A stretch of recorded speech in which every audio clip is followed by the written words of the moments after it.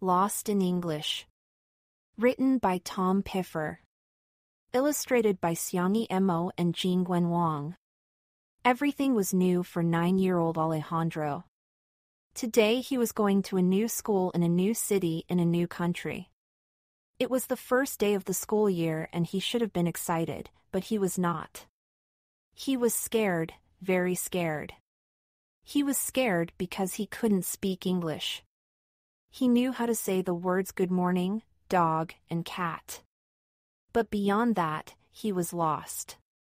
His father stopped the car in front of the school.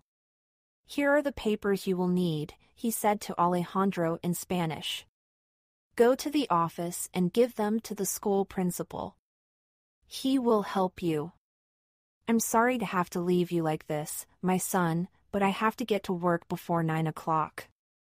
Alejandro got out of the car very slowly. I wish Papa could come in with me, he thought, but he said, Okay, Papa. I can do it by myself. Alejandro waved his father goodbye and walked slowly up to the large brick building. The words over the doors read Parkland Elementary School. Alejandro walked into the large hallway. It was full of students greeting each other and hurrying to class. On the left he saw a door. The sign beside the door had the word office written on it. Ah, oficina! Alejandro thought. That is where I must go with my papers.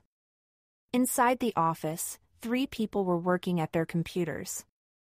I wonder if one of these is the principal, Alejandro thought. He walked up to the counter and waited. Soon, a woman looked up from her computer and came over. Can I help you? she asked, with a smile.